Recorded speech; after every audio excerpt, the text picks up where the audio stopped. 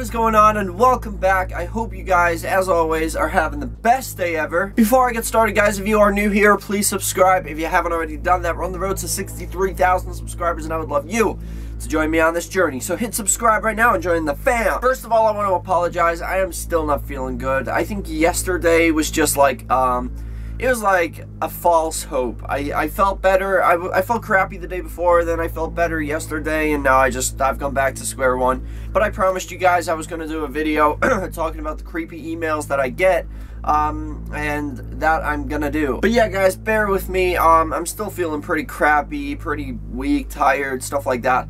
Um, but yeah, I'll try and do my best to entertain you guys today. Alright guys, so as I said yesterday in my Paranormal America um, video on Pennsylvania, I said that I've been getting a lot of creepy emails, and if you guys want, I'll do a video talking about the emails and reading them to you guys, um, see what you guys think. Um, and a lot of you guys were down for that, thought it was a good idea, so I'm going to do that for you guys. I am going to warn you, though, some of them are pretty long, so I'm going to have to keep that in mind, um, and just try and read them really fast. I don't want to waste time. I don't want to bore you guys. And also, if you guys haven't followed me on my social media, I have Facebook, Twitter, Instagram, and Snapchat. Links are all in the description. Go follow me on everything. Alright, email number one is from a girl that says Miss Tina Yak. And the, the subject of the email says, I need your help. Beloved, let me first introduce myself to you. I am a citizen of Sudan, but currently staying in Burkina Faso I think that's how you pronounce it. My, my name is Princess Tina Yak. Princess Tina Yak.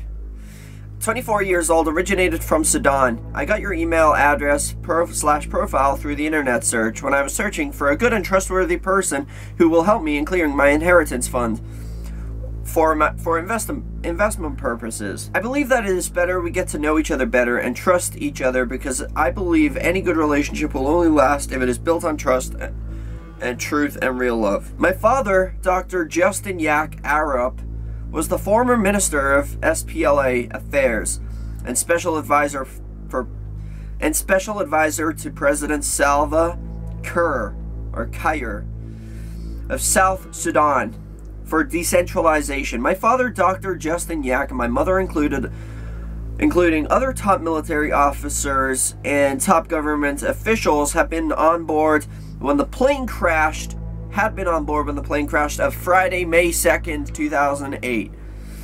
You can read more about the crash through the link below. And obviously there's a link. After the burial of my father, my uncles cons my uncles conspired and sold my father's properties to a Chinese expat expatriate um, and lived nothing for and left nothing for me. I'm assuming she means it says she put and live nothing for me. Obviously, she doesn't speak much English, so I'm struggling, that's why. Um, on, a, on a faithful morning, I opened my father's briefcase and found the documents which he has, which he have deposited huge amount of money in one bank in Burkina Faso with my name as the next of kin. I traveled to Burkina Faso with, to withdraw the money so I can start a better life and take care of myself. On my arrival, the branch manager of the bank, whom I met in person, told me that my father's instruction, instruction to the bank was the money to be released to me only when I am married or present a trustee who will help me invest my money overseas. I have chosen to contact you after my prayers. I believe that you will not betray my trust, but rather take me as your own sister. Though you may wonder why I so soon I am revealing myself to you without knowing you, well, I will say that my mind convinced me that you are the true person to help.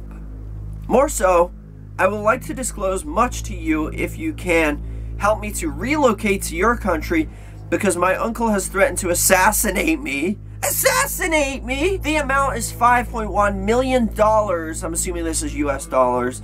And I have confirmed the bank in Burkina, Burkina Faso. You will also help me to place the money in a more profitable business venture in your country.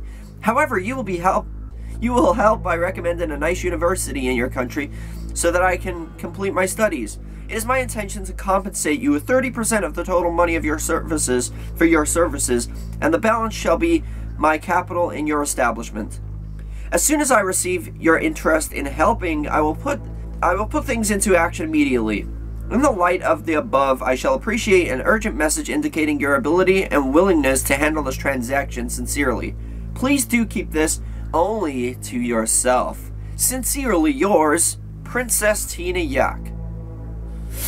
That's a freaking sketch, man. That's I'm not screwing around with anything like this. I don't want to be getting I don't want to be getting killed, manhunted. Whoa. What she think I am? Just a second, guys. I got a lot of emails. I just got to try and find the creepy ones. Okay, here we have an email from Mr. Peter Sands. Dearest, I am Mr. Peter Sands from UK, London. I'm the Group Executive Di Director Group Financial Director of Standard Chartered Bank PLC UK. I seek your assistance to receive this fund sum of 7,500,000 pounds in your account. Seven million five hundred thousand pounds. If you are interested to execute this with me, I have all it will take to move this fund to any of your account designate as a contract fund to avoid every query by the authority in your country. For security reasons, contact me with this email, at this email. My present internet connection is very slow in case you receive my email in your spam copy this email ID to reply to me. And then basically he wants my private email, my age, country, my phone number, um, and he's waiting for my response. Mr. Peter Sands, everybody. Now we got one from Wang Hong. Wang Hong from China says, Greetings, this is an official request for professional consultants who will stand as our regional representative to run logistics on behalf of, oh man, Xinyu Iron and Steel. Okay, this is just, we're, we are searching for a payment collection agent in Canada and USA, salary 10% of every payment you receive from our customers. Get back to us with information below. Basically, they want all my stuff, my details, name, bank details. What the heck, guys? Now, this is where it got pretty weird. Major Dennis Hornbeck. I am in the military unit here in Afghanistan. We have some amount of funds we want to move out of the country. My partners and I need a good partner, someone we can trust. It is risk-free and legal. Reply to this email. Major Hornbeck, you don't think I'm gonna fall for that, do you? And here we have one from Sharida Almahadida. Ha, hu, ha, he. I don't know how you pronounce this stuff, guys. Hello, how are you doing? Hope fine. My name is Miss Sharida. I'm really interested to know more about you. After reading your profile on Facebook, but unfortunately I don't have a Facebook profile that's set to public anyway. But unfortunately I'm not always online here, so I will be glad if you write me back through my private email address so I can write you and tell you more about myself because there is something I would like to share with you. Take care and lots of love. May the Lord bless you as I wait to hear from you. I already know what you want, and it's not happening. You either want to send me some money or marry me. Mr. Ibrahimi Ali, dear friend, I know that this mail will come to you as a surprise as we have never met before, but you need not worry as I am contacting you independently of my investigation and no one is informed of this communication. I rhymed. I see what he did there. I need your urgent assistance to transfer the sum of $11.3 million immediately to your private account. The money has been in our in our bank lying dormant for years without anybody coming for the claim of it. I want to release the money to you as the re relative of our deceased customer, um, the account owner in the brackets, who died along with her supposed next of kin since January January 3rd, 31st, 2004. The banking laws here does not allow such money to stay more than 13 years because the money will be recalled to the bank treasury accounts as unclaimed funds. By indicating your interest, I will send you the full details on how the business will work. Send your data, your name, your country, your age, your occupation, your phone number. Please respond urgently and delete if you are not interested. Regards, Mr. Ibrahimi Ali. Major Dennis Hornbeck, emailed me again. We want to get this money out the country, but we need your help. Uh, I'm stupid, but I'm not that stupid. Mr. Musar Pascal. Hi, I am Mr. Muscal. Mr. Mr. Muscal. Mr. Pascal Musar. He, he said his name the wrong way around. Auditing and accounting section. I got your email address through the internet and um, blah, blah, blah, blah, blah, blah, blah, blah, blah. It's the same old stuff, guys. They literally want my name, address, phone number, sex, age. Oh my god, they want sex? I ain't doing that. Occupation, country name, your scan a copy of your passport. This is freaking crazy. So they can send me $6.5 million. Now, a lot of these are just robotic, and a lot of them are just spam, and a lot of them are obviously hackers overseas. But I also get emails from, like, Mina Tramini, who, who's like, Hi, I'm looking for American citizen to marry me so I can live in America. Please email me back. And I got tons of those too. Like people want to marry me, like girls, and they're like, it's what the weird part is. Some of them are like, "Hi, I am Princess freaking Mini Yiki Huna. I am 12 years old and I'm looking for American husband so I can live in America. It's freaking crazy.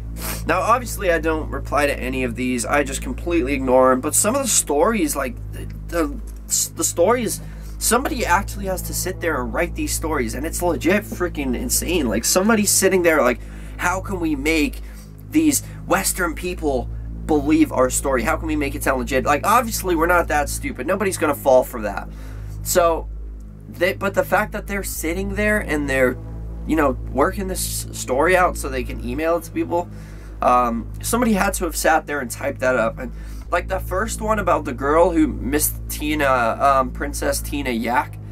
That was freaking weird. Like her, her dad assassinated, her dad and her mom were killed in a plane crash. Then her uncle tried to assassinate her because she she had money, and now she wants to leave. She wants to go to America. She wants to um, go to university, and she wants to marry me and all this kind of stuff. It's freaking insane. Like I don't know. I don't know. As for the other one with Major Dennis Beck, Hornbeck, um, somebody's like sitting there right now and wants it to make us believe, us, the victims of these scams, us believe that there is genuinely uh, uh, there people out there in Afghanistan right now in the military and they are having a problem, they're stuck, and they need to get these funds out of the country. So anybody who is like younger, like a kid who's like 12, 13 and loves like war movies and stuff like that, they're gonna be like, oh, I could help these guys out. I could, uh, and you know, it, it's dangerous, man. It's dangerous out there. So if anybody reading, um, anybody out there gets any of these emails, any of you guys, uh, whether you're older, because I know some older people don't really understand about spam and stuff. Some people believe everything they see, um, and kids too. Kids, don't go falling for this. Completely ignore them. In fact, don't click on any links. Don't open the email. If you see anything like that, just delete it. It's very, very dangerous. Um, and it could get you in a lot of trouble. But yeah, guys, I could go on. The reason I want to cut it here is because the battery's running low and the emails are super long. I can only get like a couple in a normal sized video. So I'm going to cut this video here. Um, but yeah, I have tons of them. There's all different stories for all different ones. Like, um, there's like Nigerian prince. Uh, like a Nigerian prince wants to send me money and stuff like that. It's freaking crazy, man. But um, yeah, let me know you guys, what's the weirdest question of the day, okay? Let me know what you guys think of these kind of emails, and let me know what is the creepiest, weirdest email you have ever had. That is question of the day. Also, slap a like on this video if you enjoyed it, let's see if we can go for 5 million likes on this video. I would really appreciate that. And remember the most important thing, guys, chase your dreams. I love you guys.